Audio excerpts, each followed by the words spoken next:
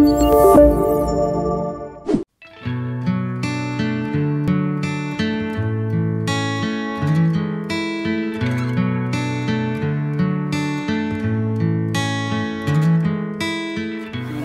ွေးနေ့ကဒီလိုထူးထူးခြားခြားတော့ဘာမှမလုပ်ဖြစ်ပါဘူးဒီနေ့ကဒါ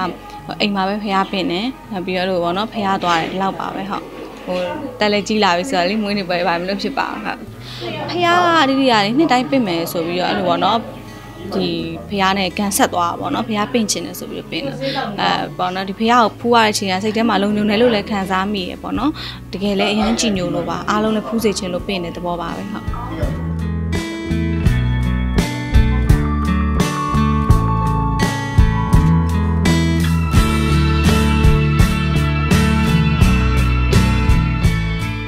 ကိုတရားကမတီဘူးပါရီလက်ဆောင်ပေးပြီဘာမှလည်းမပေးဘူး သူဟို roll rice ကလာအဲ့ဒါတောင်းတာမဲအဲ့ကမဟုတ်လို့မတင်တော့ဘူး Facebook ကိုဒီတိုင်းပဲဘာမှဟိုထူးထူးထူးထူးတော့မပေးဖြစ်ပါဘူးဟုတ်အမိသားစုတွေအချစ်တင်နဲ့အကုန်လုံးအပြည့်နဲ့ပေးထားကြတာပေါ့နော်အဲ့ရအဖေအမေတွေရောယောက်ျားရောအကုန်လုံးอ่ะဆိုတော့တူတူချာချာမပေးဖြစ်ကြပါဘူးဟုတ်လက်ဆောင်လက်ဆောင်ပေးတဲ့ဟာတော့ယူလိုက်တာပါပဲဟိုလိုမျိုးကြီးတော့ထူးထူးခြားခြားဟိုလိုမျိုးတော့မဟုတ်ပါဘူးဟုတ်လိုချင်တာရလာတော့တိတ်ပြီးတော့ဘာမှလိုချင်တာရေလို့မရှိပါဘူးအဲ့တော့ အဆင်ပြေပါတယ်ပေးတဲ့ပေးတဲ့ဟာတွေအကုန်လုံးအဆင်ပြေပါတယ်ဟုတ်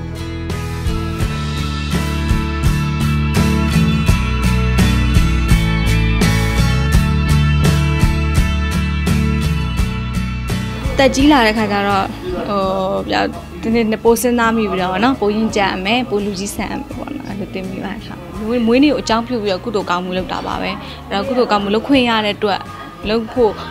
အခွင့်အရေးအချိန်အဲလူရောပေါ့နော်အားလုံးမိသားစုကပတ်မုံမှုအားလုံးရှိနေတဲ့အတွက်ဒီလိုတော့အများကြီးကျေးဇူးတင်ပါတယ်